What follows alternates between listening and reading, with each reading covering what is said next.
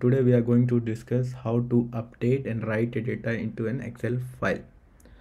So in my previous video I have shown you how you can read a data from an Excel file. If you haven't seen that I will provide the link in the description of this video. You can read it and go through it once. So basically this was the code which we were using to read a data from an Excel file so i'll repeat again the prerequisite what we have needed in order to work with an excel sheet by using ruby language is gem library file called spreadsheet if it is not installed just install this gem file at your machine. In my previous video i have already shown how you can check whether this gem has been already installed in your machine or not. If it is not installed how you can install it. So we are creating a variable name called file name just to pass the path of the excel file which we are going to read and write.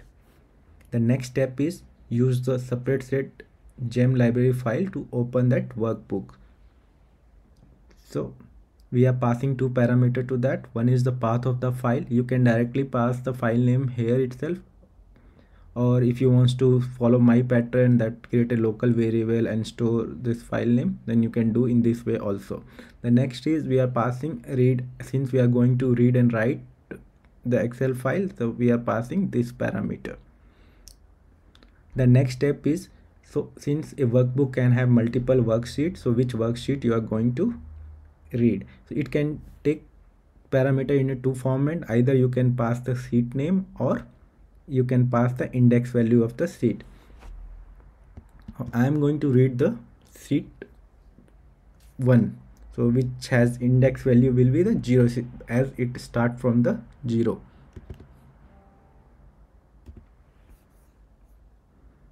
so this is the excel file which i am going to read it. As i told in my previous lecture so when you are creating the excel file you need to always make sure that you are saving that excel file into 97 2000 for format.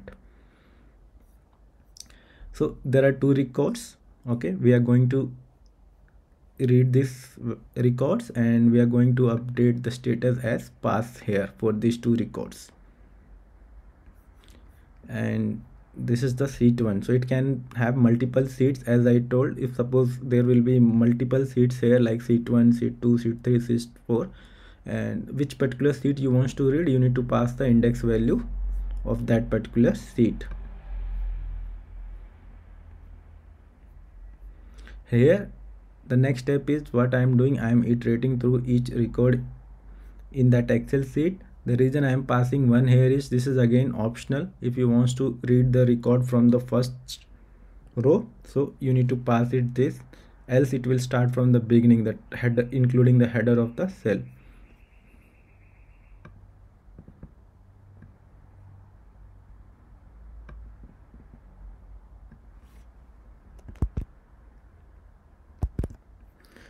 so what i am planning of what i will do so i will perform one update operation and another one is write a next cell to that. So so what i will do i will multiply this i will update this cell by multiplying by 2 and here i'll update the status as pass.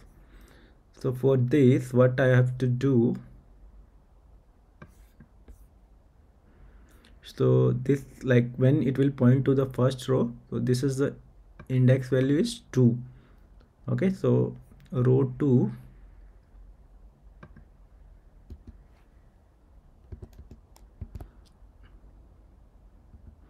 so when we are iterating it is highlighting which row you are going to pick and in that row which cell value you want to pick. So we have to pick the row 2 and we need to update it to like whatever value is there we need to multiply by 2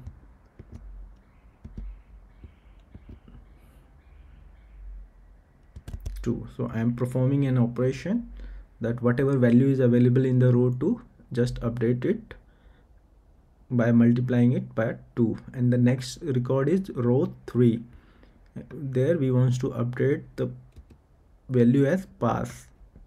Just keep it like this. And we just want to store their pass okay. So we need to write this one. Value in that. We need to call this method called write. Then only it will write this value. And where we want to write? This excel file. Okay. And this operation is to close this connection else your sheet will get corrupted. So yeah we are all done. Let's see how it works. I'll close this excel file. I will my excel uh, this code file name is readexcel.rb I, i'm gonna run this file and let's see whether it is able to perform this operation as we are expecting or not. Yeah it has done. Let's check our excel file now. So now what we are expecting that the score should be multiplied by 2 and in front of that uh, status col column should update as pass.